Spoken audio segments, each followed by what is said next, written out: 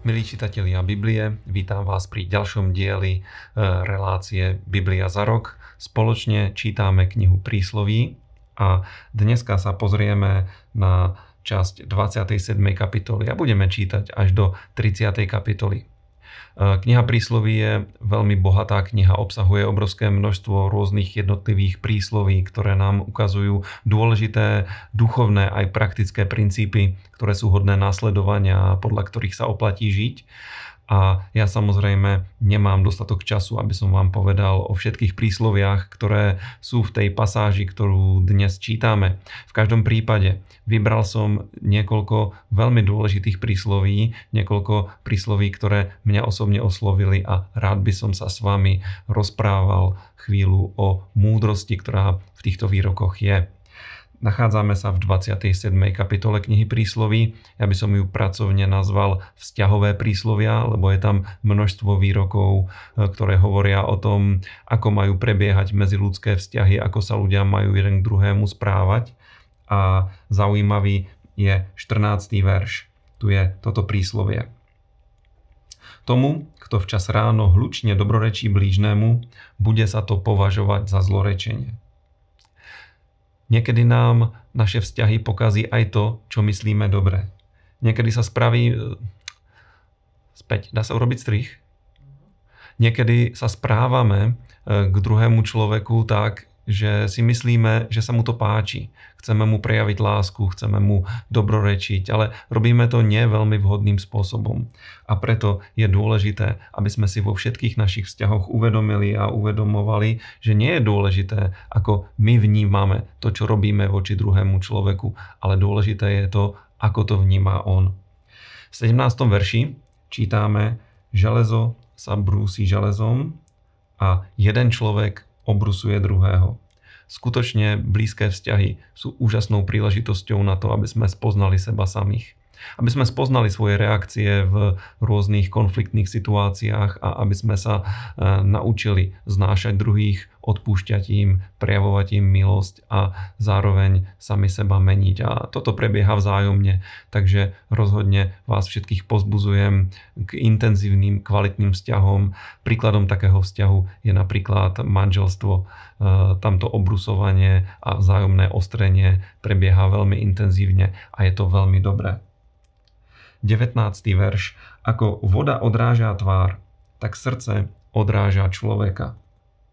Skutočnou podstatou nás, našej osobnosti nie je ani tak náš výzor. E, to je až druhotná vec. Ale skutočnou podstatou našej osobnosti je naše srdce. A preto je veľmi dôležité, aby naše srdce bolo v poriadku, aby sme jednali s našim vnútrom, lebo tam sa odráža to, kto, akým skutočne sme. Ako taviaca nádoba striebro a pec zlato, tak človeka preveria ústa, čo ho chvália. Toto hovorí 21. verš. E, chvála je veľmi príjemná vec. Každý máme radi, keď nás niekto chváli, ale je veľmi dôležité, čo to urobí s našim srdcom a keď veľmi máme radi chválu, keď v nás chvála vyvoláva príjemné pocity, ktoré si chceme stále užívať, môže to niekedy viesť až k píche a namyslenosti a práve preto každá chvála nás svojím spôsobom preverí. Takže priatelia, aj keď nás chvália, ostávajme pokorní, ostávajme ľuďmi, ktorí sa páčia pánovi. V 28. kapitole z tej vyťahnem iba jeden verš. Kto tají svoje previnenia, nebude mať úspech kto ich však vyzná a zanechá, dosiahne milosrdenstvo. Žiadny hriech sa neoplatí tajiť. Žiadne zlyhanie e, netreba nechať tak. Netreba na nich zabúdať, ne, netreba ich vytá, vytláčať niekam do podvedomia. E, treba sa ku každému hriechu a zlyhaniu postaviť čelom, pomenovať to a zanechať to a vtedy do nášho života príde úspech a požehnanie. 29. kapitola. Človek, čo si aj po viacerých napomenutiach zatvrdí šiu, zrazu sa zlomí a nebude nápravy. Priatelia, korigovateľnosť a schopnosť sebareflexie sú, hádam, najdôležitejšie vlastnosti života. Ak sa chceme meniť, ak chceme napredovať, musíme byť ochotní e, nechať sa niekedy aj napomenúť, nechať sa niekedy pokárhať, usmerniť, lebo hoci je to nepríjemné, ak to vieme prijať a ak na základe toho vieme naložiť so svojím životom, tak budeme neustále rásť. Budeme sa rozvíjať, budeme lepšími a lepšími a preto tento postoj, ku ktorému nás kniha prísloví e, nabáda, každému vrelo odporúčam. A posledné miesto, na ktoré sa teraz spoločne pozrieme, je v 30. kapitole. Sú to tzv. agúrové príslovia a Agúr hovorí veľmi zaujímavú až filozofickú otázku v štvrtom verši. Kto vystúpil do neba a odtiaľ zostúpil? Kto do svojej hrsti vietor nazbieral? Kto zabalil vodu do plášťa? Ktože vytýčil všetky končiny zeme? Ako sa volá a ako sa volá jeho syn, isto to vieš.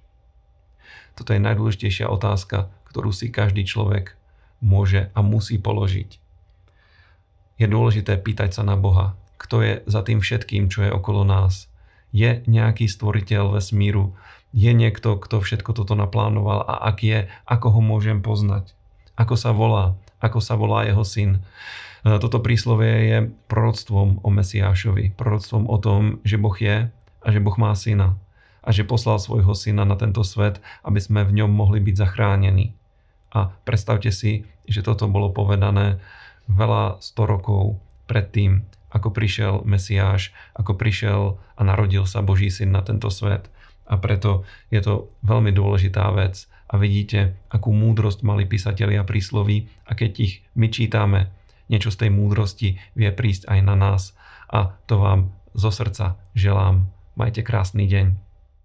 Ďakujeme, že nás sledujete a aj vďaka vám vieme pokračovať v tomto jedinečnom projekte. Sledujte nás aj na sociálnych sieťach.